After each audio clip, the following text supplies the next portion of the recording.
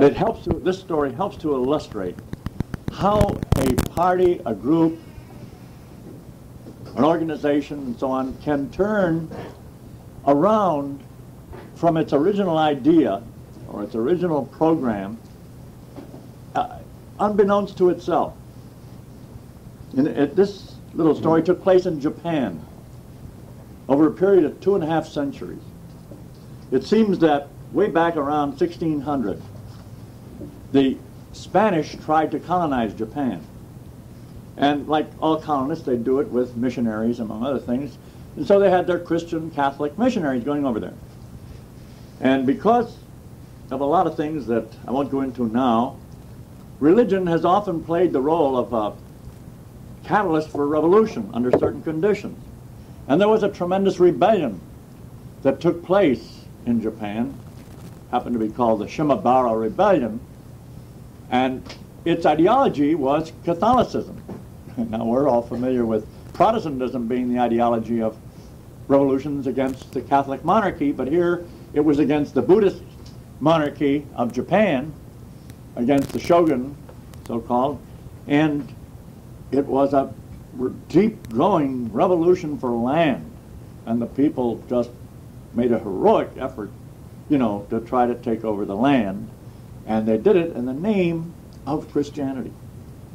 So after the shogun put this down with the most brutal means he could, he then made Christianity illegal in Japan.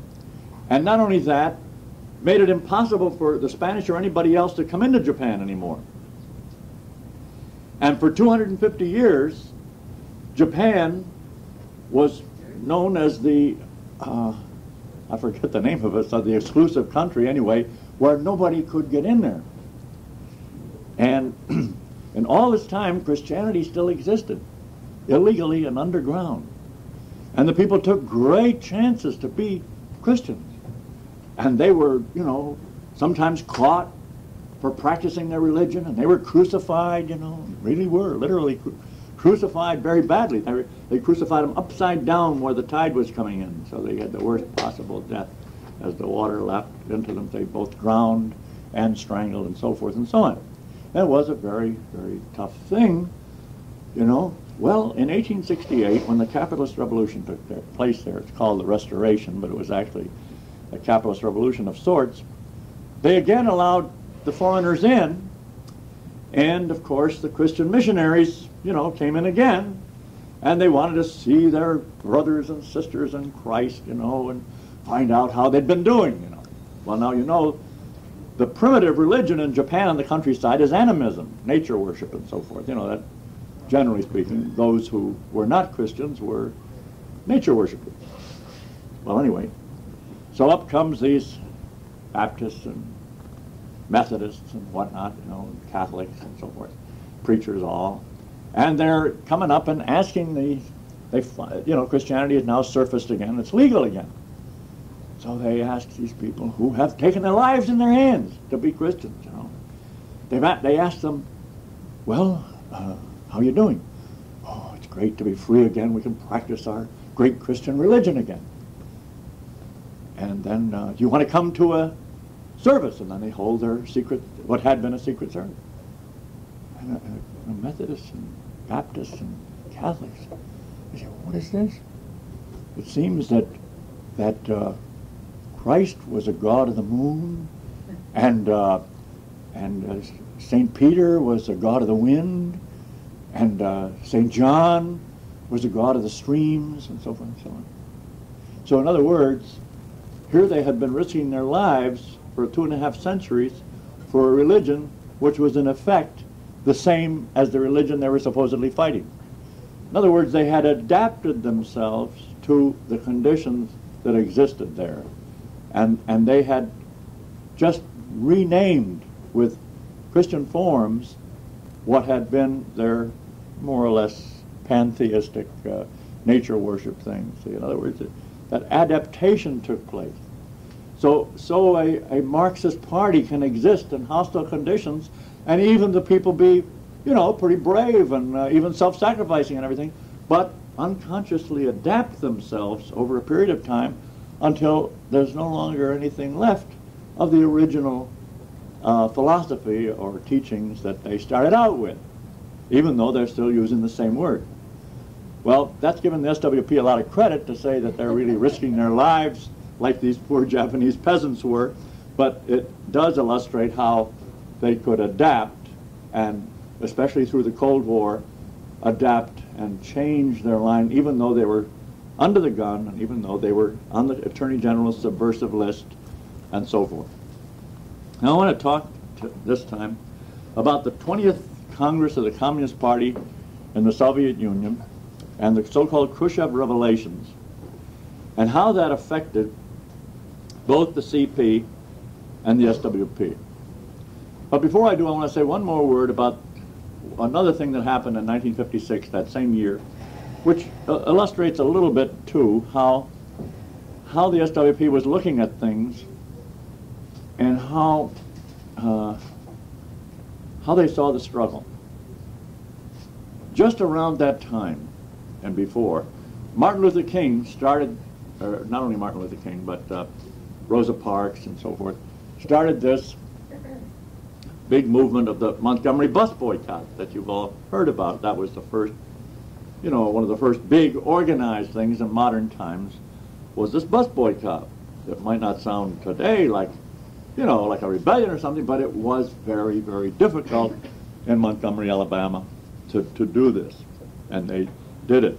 And then there was a lot of other things happening at the same time. There was the Emmett Till lynching, and there were other murders and, and other uh, persecutions that hit the headlines in the North. Now, the SWP cooked up this idea that they got to have a new slogan and uh, uh, to really dramatize the struggle. So they decided on the slogan, U.S. troops to the south. U.S. troops to the south. They had this as a headline across the top of their paper early in 1956. And what did that mean? U.S. troops to the south. They were saying, in effect, that the U.S. government is going to rescue the, uh, the persecuted black people by going down there with U.S. troops. And, well, you know now that all the rebellions that happened, the U.S. troops came in and shot down the black people, right? But that was a few years later. Not many years, but just a few years later. Well, we counterposed to U.S. troops to the south. We said, that is our group, the Marcy group in, in the SWP said, no, no, no, we should be for self-defense guards or anything but U.S. troops to the south. We don't want that. The U.S. troops, it's an imperialist army. We don't want that imperialist army going to the south. We don't want to ask for that. That's wrong. And we had a big fight, and they all voted against us on that. They all disagreed with us, on that. this is all within the political committee, the national committee of the SWP, and they were all against it. But I, I just want to get that out of the way first because it's, it's so much like the CP. The CP has the same general approach. They call a cop. If the CP had been running that uh, Congress that we had in uh, Cobo Hall, and the disruptions came, you know what the CP would have done. They'd have called the cops. Well, you know, the cops would probably have got rid of the disruption, all right. But, you know, it's like asking the cops for permission to have your revolution. You know, well, the CP and the SWP both have this thing of having adapted so much to bourgeois legality that they go for stuff like that, you know, and calling like for troops to the south. But let me go right into the question of the 20th Congress of the Soviet Communist Party and the so-called Khrushchev revelations, because they had an enormous effect on the Communist Party all over the world, particularly in the United States, and a special effect on the SWP. Now, these Khrushchev revelations came to us in the United States in two parts. One in February 1956 and one in June. And the reason for that was it all took place in February, but there was a so-called secret speech that was not revealed in the United States until June which I'll come to later. I'll just take the parts we heard about. What we heard was that, that in this 20th Congress, there was a big expose of the Stalin cult, the cult of the individual and so forth. And they said, look, we, this is not communist, this is not socialist, this is hero worship, individualism, uh, dictatorship of the individual, and so forth. And this all came out. And it came out with a terrible shock to the Communist Party. And a lot of criticisms of Stalin that came out at that time. And there were, nobody could answer them.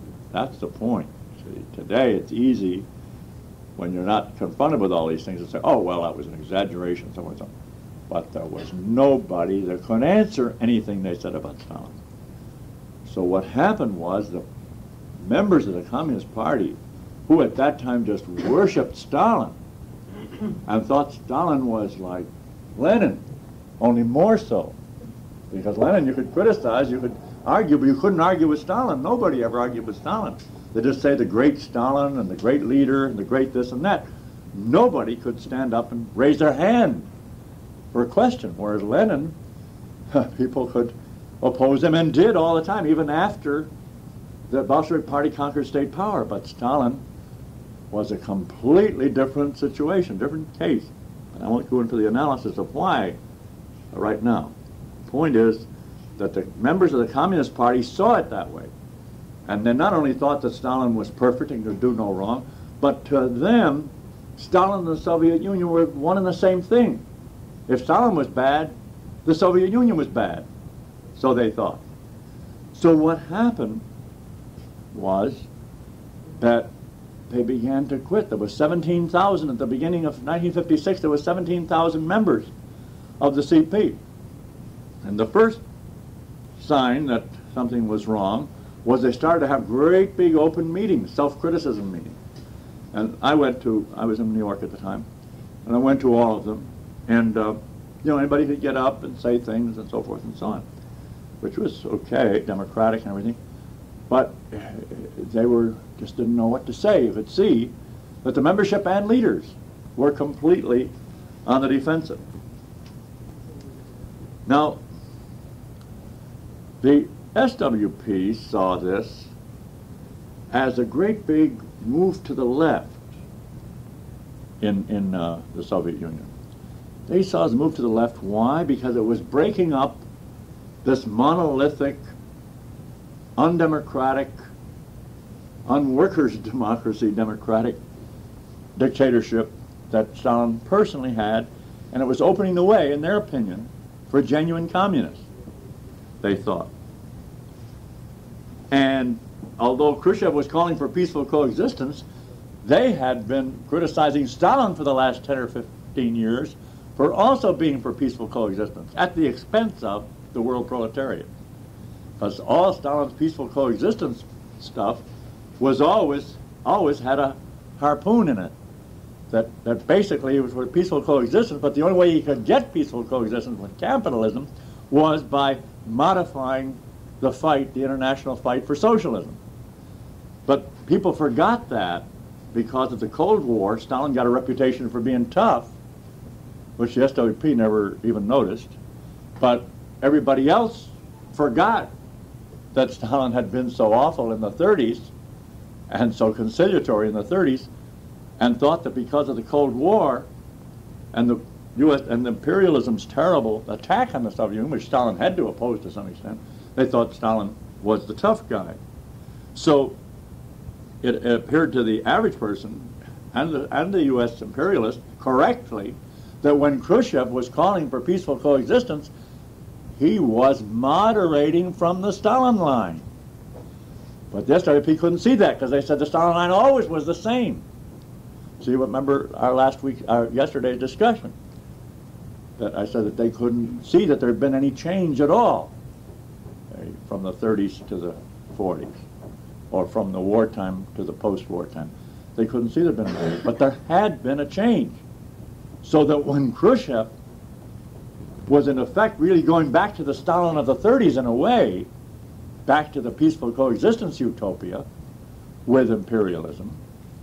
And remember always, peaceful coexistence always implied, may not today quite so much, but at that time it always implied sacrificing the world revolution in order to get a peaceful coexistence with imperialism. That was the implication. So when Khrushchev come out for this, uh, don't forget nobody else criticized it. The Chinese did not criticize it. The, the, the communist parties of the world didn't criticize it. So when the SWP said, well, this is no change, well, it was difficult to point to any, but for us to point to anything. also, Khrushchev, in that same speech that was publicized, I think, at the time, uh, came out against the dictatorship of the proletariat and actually said, we don't want to have the dictatorship of the proletariat anymore. We want a democratic state of the whole people. Well, anybody that knows Marxism knows there's no such thing as a democratic state of the whole people. No, nowhere, nowhere. A state, the Leninist theory of the state tells you that some class runs the state, right? Got to be either the working class or the capitalist class runs the state. It has the state. It's their state. Well, of course, we, the Marcy group, said, well, the mere fact that he says it's not the dictatorship of the proletariat doesn't make it not the dictatorship. We said it still is the dictatorship of the proletariat, in spite of the fact that Khrushchev says it isn't. But nevertheless, at the same time that he's saying this, he has a purpose for saying it. The good side, let's say, was that he meant, and he wanted, he signaled the people in the Central Committee and in the Congress, Soviet 20th Congress, he signaled them that, look, we're not going to have a personal dictatorship anymore, and we're going to have committee leadership, and your lives are safe. We're not going to lop your heads off one by one like Stalin did. Well, you know, that was that moderated things, and they had committee management for a while. That was, let's say, the good side of Stalin's, or rather Khrushchev, saying that we're going to end the dictatorship of the proletariat if you given the benefit of the doubt that he was stupid about Marxism and only meant this in a typical bourgeois way, that the dictatorship of the proletariat was the dictatorship of Stalin, and that's not our view. The dictatorship of the proletariat is a class dictatorship, which can be democratically done or dictatorially done or anything. It's the power of the working class. But that was far from Khrushchev's mind and far from the mind of the Soviet Communist Party because they unanimously voted for Khrushchev's report. In addition to this question of the dictatorship of the proletariat, however, Khrushchev also said that we're now for the peaceful road to socialism and not for revolution. Now, of course, Stalin had never said that, but he certainly wasn't very much for revolution either. I mean, from his record from 1923 or 4 to 1941, the time he was attacked by Hitler, he, uh, he never showed very much interest in proletarian revolution outside of the Soviet Union. But nevertheless, he never said that, you know, we can have the peaceful road will bring about socialism. So Khrushchev, in words at least, made a big step to the right by saying this. Now, I brought this up personally to a SWP leader and said, but look, Khrushchev is revising Lenin. And he said, oh, Stalin shot the Leninists, he said. I said, yes, he shot the Leninists, but he didn't revise Lenin. And not he didn't dare openly revise Lenin. Well, yeah, but that's a small point that uh, this is all, you know, so forth and so on. In other words, they thought this was, or uh, said they thought, and seemed to think that the words that Khrushchev used were not the important thing. It was the fact again that he was against Stalin, and that made him a leftist. That was from their um, distorted point of view. And I, I think this carries out the same thought that I was showing in some other relationships yesterday. Now, where he was going, where was Khrushchev going? He was going towards a rapprochement with imperialism. That didn't mean that Stalin didn't want a rapprochement with imperialism too, but Khrushchev was signaling to imperialism that he would give more to get this rapprochement. Now the CP not only was having all these meetings and was thrown for a loss, like I said, but they even had one great big meeting, and they were so disoriented, they were thinking not of uniting with the SWP, which the SWP kind of wanted. They wanted to unite with all the right wing of the CP, which I'll come to later. The CP, on the other hand, wanted to unite with somebody to the right of the SWP. Everybody was going to the right. The CP held a meeting at Carnegie Hall in New York with a symposium or debate between Eugene Dennis, who was then the Se National Secretary of the CP, and guess who? Norman Thomas. Now, Norman Thomas was, when he died, he was the head of the Socialist Party. When he died, a great big editorial in the New York Times saying what a wonderful man, you know, what a fine fellow he was and everything. He was our socialist, you know, our imperialist U.S. socialist. That was the guy who in 1956 had this, shared the platform with Eugene Dennis, and when Eugene Dennis said, let's get together and so forth, Thomas said, well, I don't see how we can have any unity right now between the Socialist Party and the Communist Party. Eugene Dennis took the floor and said, I'm glad that Comrade Thomas said right now, so that maybe we'll still have that unity.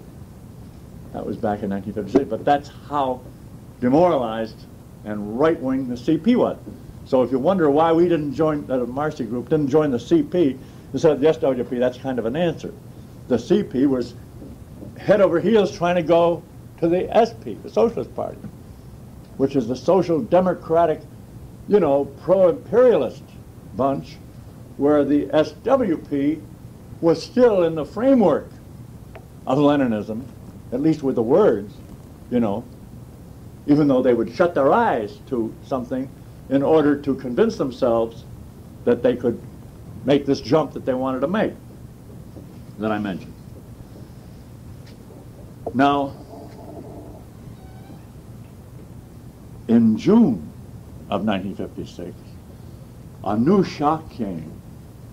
And this was the publication of the secret speech, so-called, that Khrushchev had made at the 20th Congress. Now, it was published first in the New York Times, verbatim, about four pages or something. Then, the Militant, the organ of the SWP, printed this verbatim. The next week, the Daily Worker, the organ of the CP, printed it verbatim. So everybody on earth knew that was political, knew what this secret speech said. And it was devastating, devastating. And it's never been repudiated. Nobody in the Soviet Union has ever repudiated called Stalinist group. Nobody repudiated that. to this day, that's 25 years later, it still has not been repudiated. Now, in that speech, among other things, Khrushchev showed how when Hitler attacked the Soviet Union, it was totally unprepared. How Stalin had bungled everything. Showed how Stalin had had chopped off all the generals, for instance. He didn't say that half the generals were Trotskyists, and that's why. But, I mean, generals who were brought up by the revolution. Trotsky was the head of the Red Army, you know. And uh, uh, Marshal Tukhachevsky, for instance, and General Blucher, or Marshal Blucher or something, were experienced generals and so forth. The Red Army was beheaded, and Hitler knew it. But Stalin had such paranoia, and Hitler showed, I mean, not Hitler, uh, Khrushchev overdid it, I think, but he did kept on emphasizing Stalin was crazy, Stalin was mad, and so forth. Well, of course, it was known that before he died, he was a little off because uh, there was a famous story about the doctor's plot. He claimed that 12 doctors that were attending him uh, at his last sickness, that they were all conspiring to kill him. and, and it was pretty hairy, and uh, I mean, his accusations were pretty hairy, and they finally reversed it and saved the lives of these doctors, but but he was about to knock them off too. But anyway, uh, it's forgotten sometimes in thinking of the heroism of the Soviet fight against Hitler. It's forgotten when they give all the credit to Stalin for being the leader of it, that 20 million people died. And if you put that side by side with the fact that Stalin was the leader, if Stalin was so great, what was so great about losing 20 million? In other words, uh, any general, if you give him enough soldiers, can win a battle. You know, McClellan in the Civil War, you know, he was always telling Lincoln, give me some more soldiers and I'll win. And Lincoln couldn't give him enough. You know, couldn't give him all he wanted. But if he had enough and get enough killed, you know, he'd do it. And Grant finally did do just that. Grant went out and had his battles all over, but it's forgotten that General Grant, about half his armies got slaughtered. It's forgotten, but, but that's half of his genius was in getting everybody killed. Well, Stalin uh, was so caught flat-footed by Hitler, uh, and at the same time, he had been warned categorically. There was a, a, a Soviet spy in, um, in Japan, Victor, a, a, grandson of Sorge, the guy that Engels and Marx wrote letters to over here in the United States, grandson of Sorge that for some reason Hitler didn't know the connection and had given him a job in the Nazi apparatus and he was in Japan and he got the exact date and sent it to Moscow. What the exact date? And somebody else got the exact date too. And Stalin said, oh no, that couldn't be.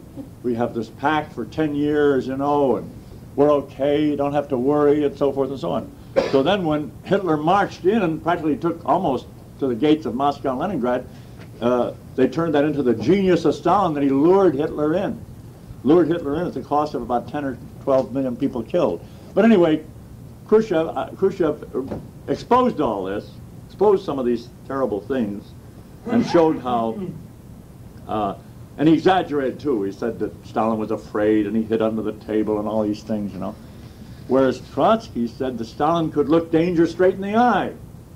Trotsky never attacked Stalin for being a coward and so forth and so on. And it's hard to believe that a man who started out as, a, as strong as Stalin was, that his problem was not personal cowardice. But the fact that Khrushchev attacked him as a personal coward just showed that Khrushchev was looking for more and more things to attack him with.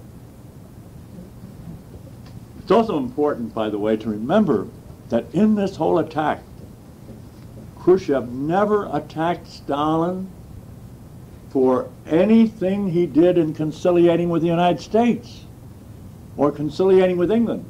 He attacked Stalin for the way he fought Hitler, knowing that Hitler was also the enemy of the United States. in other words, Khrushchev was aiming for a pact with the United States, and he was aiming to please U.S. imperialism. So all his criticisms of Stalin, every one practically, was a criticism which not only would be would uh, affect the loyalty of the CP. That wasn't really what he was out to do. He wasn't out to crush the USCP, although it practically did it. What he was out to do was make a gesture in the direction of U.S. imperialism. So he never accused Stalin of selling out the world revolution.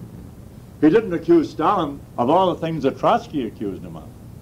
He didn't accuse Stalin of, of uh, of letting Hitler come to power or something like that. Or he didn't accuse Stalin of not fighting to the end in the various revolutions or advising, you know, didn't accuse Stalin of advising the CPs, you know, to support U.S. imperialism, like I said in the first lecture. I, he didn't he didn't accuse them of taking the wrong line in World War II or anything like that. See, Khrushchev didn't do that. So we brought this out to the SWP. We said, well, look, he hasn't really criticized Stalin. I mean, not from the left. We didn't put it that way at that time because it, it hit so suddenly. You know, I'm, I'm having some of the advantage of hindsight in some of the things I'm saying. I'm not saying we said everything like this at that time, but we did not join with the SWP's giddiness about how wonderful this was and how democratic it's going to be for the workers. Mind you, they didn't say capitalist democracy. They said it's going to be workers' democracy now. It's going to be real socialism now. It's going to be genuine communism now in the Soviet Union. That was their line.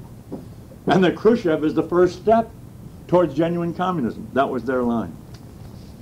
Now, as a result of this, the secret speech coming out, there was another exodus, a much bigger exodus than there had been in February, of the CP. And every single one of these CPers that left, outside of maybe a dozen or half a dozen, uh, went to the right. They went to the bourgeoisie. And we told the SWP, because I was more than they were interested in this, and went to all the meetings, the public meetings that the CP had. I said, these people are not going to the left. And I considered the SWP to the left at that time. They're not going to our direction. They're going to go to the bourgeoisie.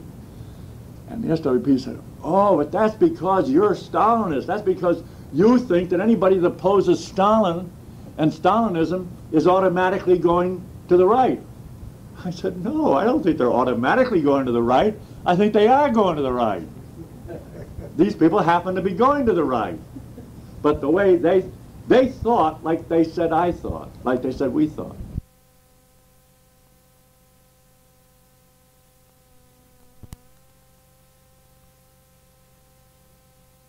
And they thought that these people that were quitting would all be good candidates for the S to join the SWP.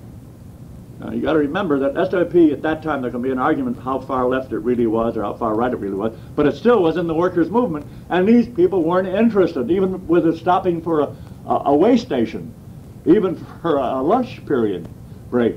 They weren't going to stop to see the SWP. They were too much in a hurry to get back and be accepted again. They, they, and of course, they had struggled. Many of these CPers had struggled and had stood up against the witch hunt and all of that, but they had used up all of their strength in doing this. So when these revelations came and hurt them the way it did, the way the, way the revelations did, they weren't about to start all over again, embracing a theory new to them that had formerly been hateful to them. And then the SWP didn't know how to handle it. They didn't come up to them and say, look, we're the real communists. They didn't say that, which would have been the correct way to say. Well, look, we, we've been with you all this time. We understand, you know, and so forth. We understand what you really wanted. You really wanted communism. Well, okay, we're going to fight for communism too. Oh, no. They come in and said, well, this proves we were right. Stalin was a bum all the time, and he was a killer and a murderer and so forth. And I should add one more point that Khrushchev brought out on, on his murders that really was devastating and no answer to it. And that was that in the, he said that in the Congress of the victors, the victors against Trotsky the left opposition, in 1934 the Congress of the victors had around 2,000 and something people.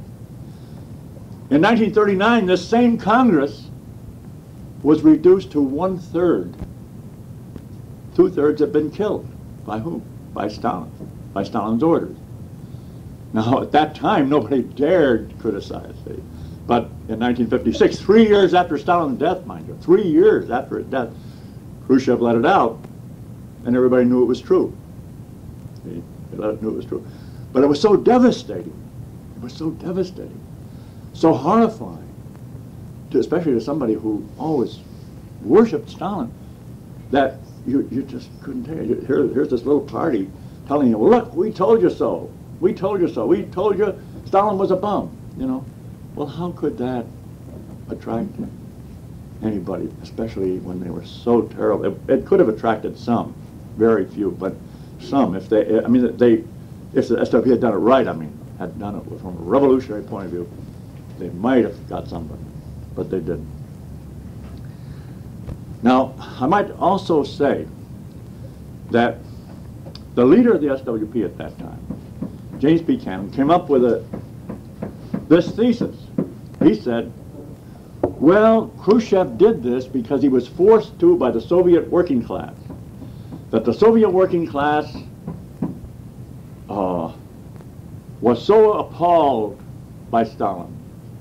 In other words, the revolutionary Soviet working class uh, realized that Stalin was counter-revolutionary. And they were pushing for a New Deal.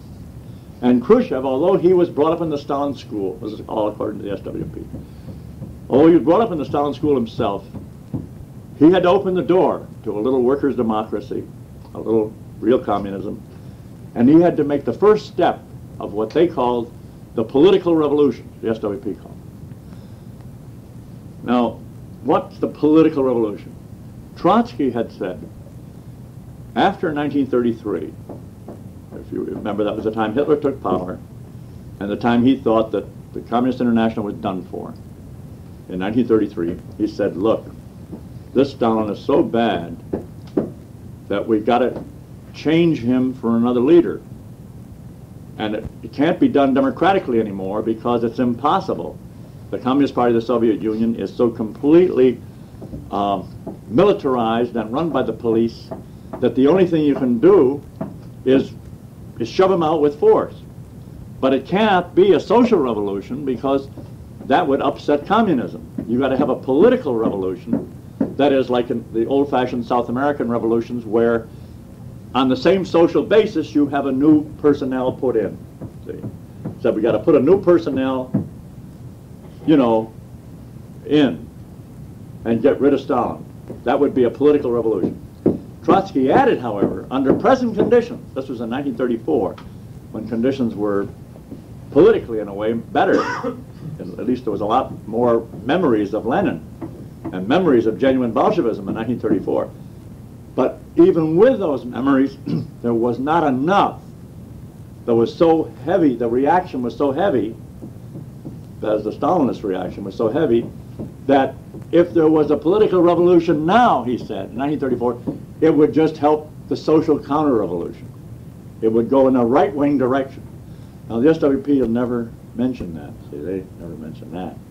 They only see it that this political revolution will solve everything, and they're not worried whether it's going to go to the left or the right, just as you're seeing now in the question of Poland. Here's a political and social counter-revolution taking place, and they claim it's a left-wing revolution to the left, right? That's going to restore genuine communism, so they say. Or so they say they think, if they don't even, I don't even think they think it. Uh, now, in the middle of this situation in 56, with the SWP digging themselves in deeper and deeper and saying that this is the beginning of the political revolution, a political revolution started. And it was a counter-revolution, and they got themselves so dug in that they regarded the counter-revolution as the communist political revolution. And it started in Poland. now, Poland was very unclear because of a number of things that I won't go into, but at that time, there was some little decollectivization in Poland in 56, but it seemed like there was a lot of leftist developments in Poland too. It seemed like it was very mixed up in Poland. But in retrospect, it's very easy to see that it was a big move to the right in Poland, especially when you see that was when the deal was made with the Catholic Church and so forth. And Gomulka, although Gomulka had been in jail under the Nazis, and he was in jail under Stalin and so forth, but he was, and he was a genuine communist and all that. That was this, that was the Polish leader, Polish CP leader. But nevertheless, it was a step backwards in some respects, a big step backwards. But the thing that was clear, and the thing that became the big, big turning point, the thing that jolted the CP to pieces and practically pulverized it, was the Hungarian uprising of October, November 1956. Now, why did it pulverize the CP? Well, because apparently it was fighting for some kind of democracy. And they had been educated to believe that all the Eastern countries and the Soviet Union were all democratic as hell. And the people, you know, were asking for democracy and this and that. And apparently, at first, not capitalist democracy. They had had a, uh, a leader named Rákosi in Hungary who was very dictatorial, very bureaucratic, and so forth and so on. And uh, was very much uh, in the Stalin mold and so forth and so on. And he did many things wrong, and the people were sore at him. So when the uprising came, and it was encouraged, no doubt about it, by Khrushchev and the Khrushchev revelation, it was encouraged by that.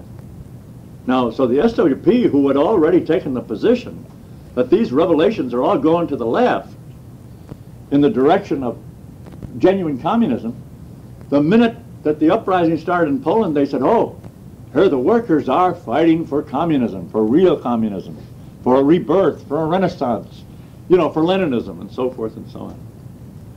And uh, we hesitated at first, but we noticed one thing was sure, that the bourgeoisie liked it. Now, of course, sometimes the bourgeoisie can be mistaken. But the bourgeoisie was giddy about it. And every single magazine and every single newspaper, and there was about seven newspapers in New York at that time, and every single edition of every newspaper was so full of the glorious revolution in Hungary. It was so wonderful, they said. And the SWP was saying it was wonderful too. So we said, no, there's got to be something. So we examined it, read books that these guys that were in there put out. Did us all in a few days and everything, and, and read every word that was taking place and everything. And we said, no, this is a counter-revolution. Even though it uses socialist language, and it used more than the Poles are using today, and the Polish solidarity and so forth, and it wasn't joining with the Catholic Church and everything. Although it did let Mindszenty out of jail, not in an organized way, apparently in an unorganized way, and apparently accidentally, that Mindszenty was the cardinal, just like uh, was in Poland, and this new guy Glemp is going to be the cardinal, and and and a cardinal who had a job that was like a medieval job called the primate it's like uh, Cardinal Richelieu had in France or something. I mean, it's something way out, something no self-respecting capitalist country would have. But they, that's what they had over there. And this guy was getting back in somehow. But that was only one of the things. They were, they had, they, the very last two or three days of the uprising, there was a unleashed an anti-Semitic furor in, in, uh, in Hungary. And, and that, everybody pretended not to notice. It was only in one or two little places. The SWP never mentioned it. And uh, in addition to that, the peasants all walked off the collectives and stole the farm machinery. And the richer ones getting more machinery for themselves and so forth. Oh, but that wasn't important. That wasn't important. The important thing was that they were overthrowing these Stalinist dictators and they were going to have, you know, the workers, and they, workers had councils, workers' councils, Soviets. Workers' council is merely the word, the English word for Soviet, right? So they, they had Soviets in Hungary. Only trouble was these Soviets were going in a right-wing direction. Just because they're a workers' council does not automatically make them communist. These workers' councils, as we pointed out, uh, the Red Army came in on November the 4th, for instance, 1956. And it overthrew the government that the counter-revolution had elected. Now this government was led by a right-wing communist named Nagy, somewhat like Bukharin in uh, the Soviet Union, but he was a communist. The only trouble was, being a right-wing communist, he was weak. And he invited into his government social democrats and a smallholders party, both of which were capitalist parties. And they were in the majority in his government, and the communist members, communist party members, were in a minority. And it was called a Popular Front government. And the CP over here who've been educated to think Popular Front government is great, it's democratic and everything, they were horrified to see that this government was the government that the Soviet army crushed. And of course the bourgeoisie was horrified too. Somebody had to be wrong. You know. But anyway, the uh, SWP said that these Soviets, you know, they said after we put them to the wall on the character of this government, lining up every single person and showing the record and so forth, showing this is a capitalist government. And the SWP was always the one that was criticizing the Popular Front governments of the CP for being capitalist. Well, this is capitalist, a capitalist popular, popular front. They said, well, maybe you're right, but the point is that the workers are in these Soviets, and it was the Soviets that the Red Army disbanded too. They forgot one thing, that these workers, Soviets so-called, were calling for the reinstatement of this government. They weren't calling for Soviets to power, like the Soviets in Russia in 1917. They were calling for the reinstatement of this capitalist Popular Front government, the Nagy government. And they had an 18-day general strike, which was very tough and very tough to oppose a general strike like that. An 18-day strike, and that was before the developments in Poland that now we're a little more familiar with. It was very hard to do that. We had to stand up against our own party, against the CP, against all the bourgeoisie and petty bourgeoisie and all the other parties.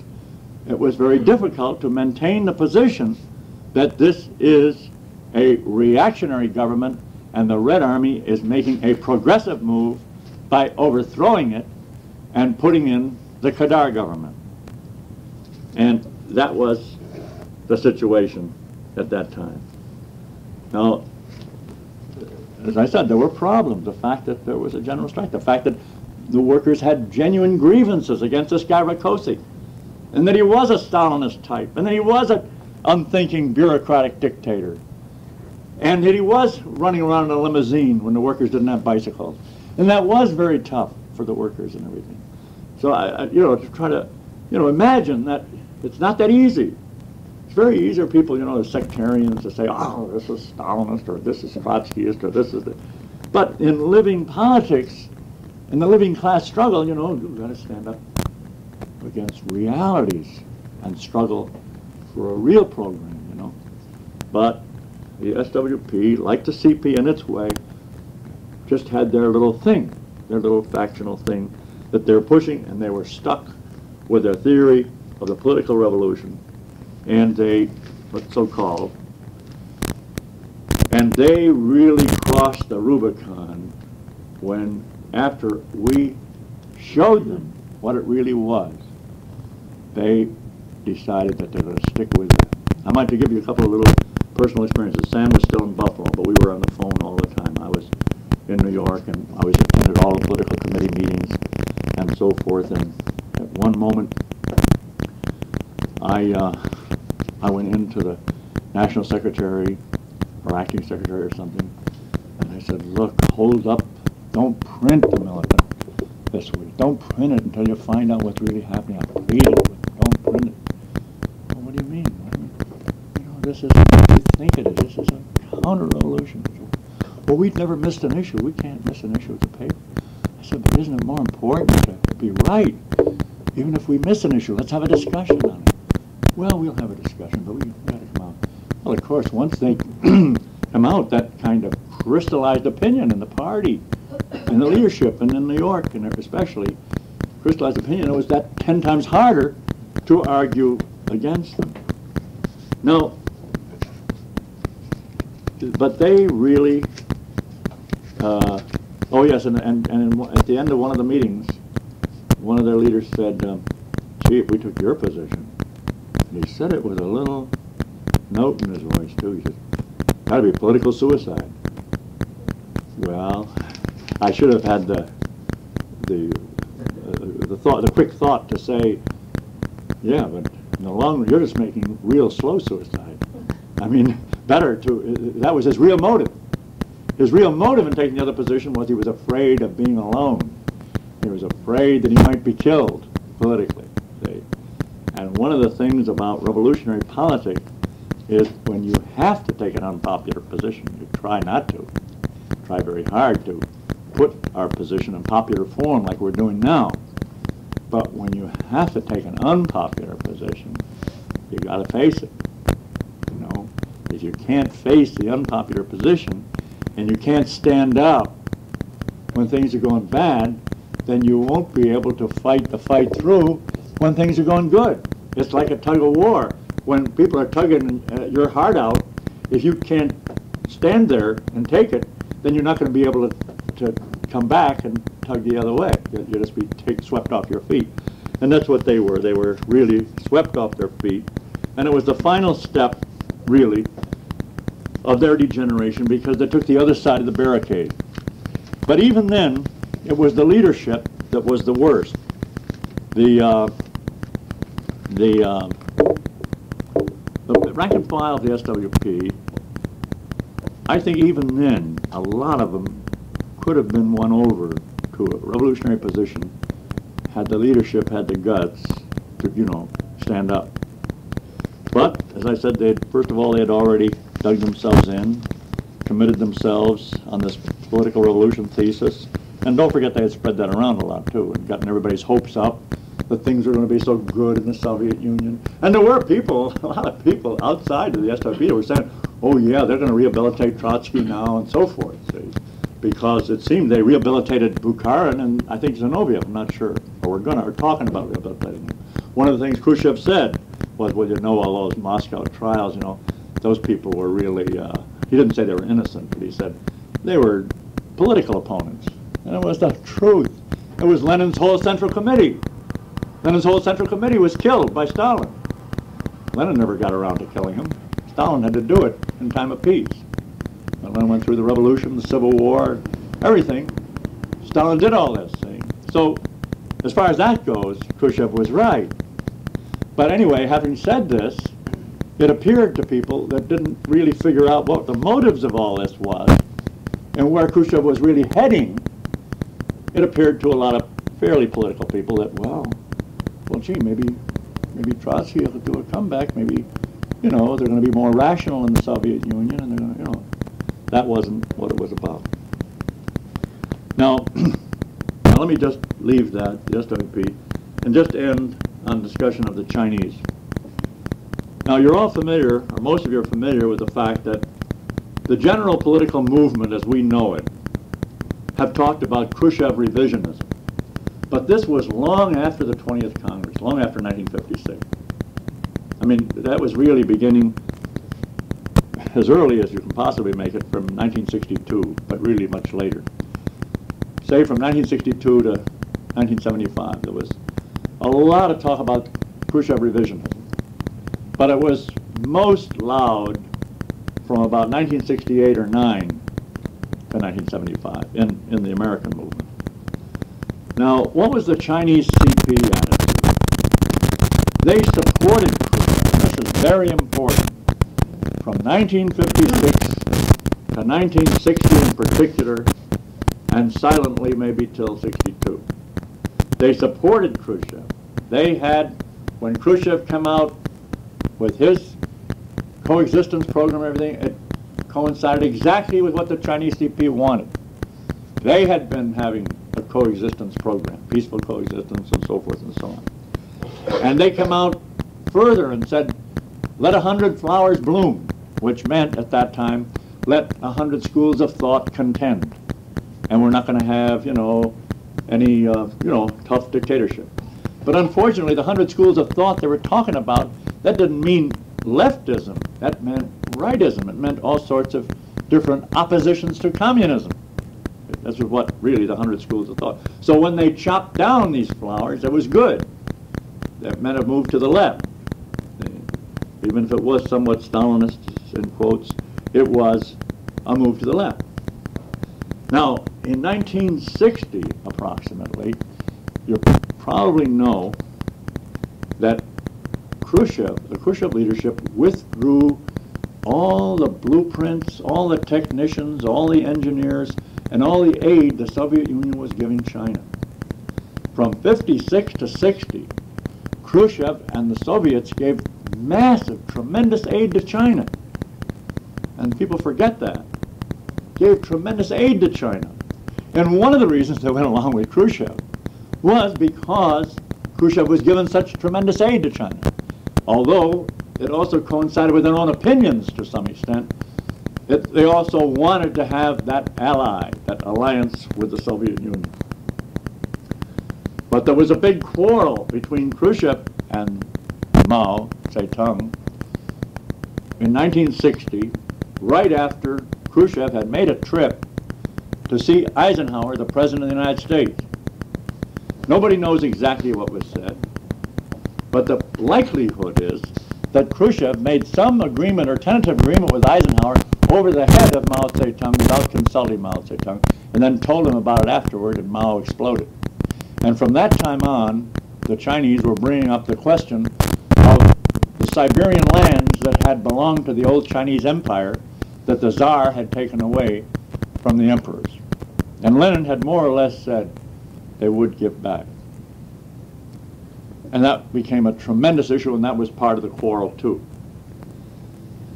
So all this took place between 1956 and 60.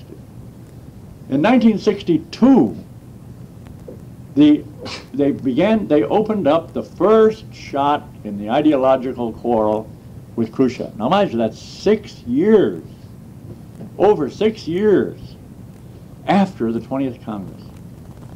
That's important for us to understand. It would be anyway if we were still talking with the Mao groupings and so forth. Important to understand and understanding how the Chinese leadership arrived at their various positions. That after six years, they began their ideological struggle, and we were for them in the ideological struggle. But it was after six years. And then they rehabilitated Stalin. They didn't used to, before 1962 or 3, have pictures of Stalin around in China. No, no, no. They put them up in 1962 or 1963. Long, long after the Chinese Revolution, long, long after the 20th Congress of 1956, they had the great big pictures of Marx, Lenin, Engels, and Stalin. Suddenly, you know, appeared, where, where's this guy coming from? Well, there was a reason. Maybe they were for Stalin's politics, but everything you read in Peking Review before that, you know, from 1956 on, not only agreed with Khrushchev, but hit Stalin for not being attentive to small countries, to colonial countries, and so forth, and for being too insensitive, you know, to the needs of colonial countries. All of a sudden, he was the greatest. Well, there was a reason.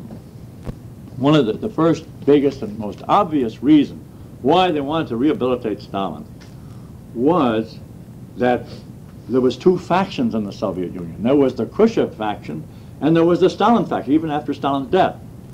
Molotov and Kaganovich, who had been on the Central Committee, on the Politburo, you know, along with Zhukov and a couple of other big leaders, to some extent Mikoyan, who was another one, were still support more or less. They were the remains of the old Stalin grouping.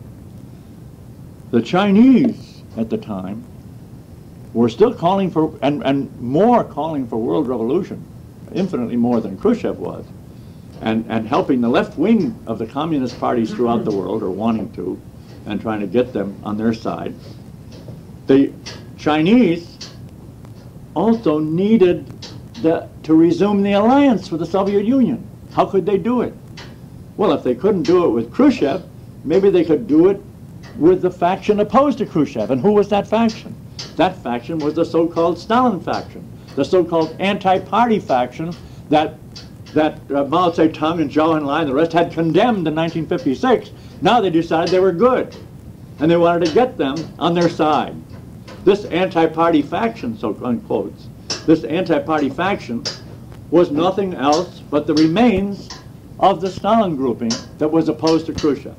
So Mao and the Chinese leadership made an overture to this faction. And part of their overture was to say Stalin was good. Okay. That period lasted for a few years, from 1962 or 3 until approximately 68 or 9, maybe 70, when all that period, they said how great Stalin was and put out, you know, Stalin's picture all over the world and everything. And then, of course, they invented the social imperialism theory of the Soviet Union, you know. Well, that meant they were approaching the U.S., the Chinese leadership was approaching the U.S. And even under Mao, although Mao wasn't so enthusiastic about it, they were approaching the U.S. somewhat. And they were talking about social imperialism in the Soviet Union. And they were beginning to drop Stalin. Finally, Mao practically buried Stalin again in his interview with uh, Han Suyin, who wrote Morning Deluge and other books, a woman who of great talent in novels and so forth, and and said in, in it that Stalin never helped this and hurt this Chinese Revolution and so forth and so on. But it was all, you see, much of it anyway, was on a nationalist basis on the basis of the national needs of China, just like Khrushchev and Stalin before him, based themselves on the national needs of the Soviet Union. Now we are for the Soviet Union as a nation, we're for China as a nation. We know that they're countries that need to have international diplomacy. They need to make various compromises. They need to, you know, stay afloat as countries. But they are also revolutionary countries, and their leaders are pushed and pulled and are not free as we are. They're not as free as we are to be for the revolution, say, in the United States or something, because they have to pay for that. They're not going to get any trade with the United States if they come out openly, and so forth. See? So they, then they change they change their line. You know, and so somebody who is very revolutionary for a little while, like the Chinese leaders were for a while, then they are not revolutionary for a while. And we have to try to understand that too. I'm, I'm giving this, of course, a whole sweep uh, when I'm summing up. And if you haven't followed all this, don't worry about it because there's been many talks and many struggles on all of these things that I've discussed, you know. And I've only tried to give a continuity of, of thought, or rather of events and some thought about what happened around 1956 and how it's, why it's still echoing today, the things that happened in 56, and how the wrong positions that were taken by various groups in 1956 are still being paid for and are still being continued in different ways, you know. And, but that's part of our heritage that we had those struggles in 56 and later in connection with whether it was Khrushchev or Stalin or Mao or, or Lin Piao or somebody else, Chiang, Chiang Ching and so on in China, that, uh, that these things were all interconnected. And you can't examine one thing completely without examining the other things that were part of that same continuity. So I'll end it there and uh,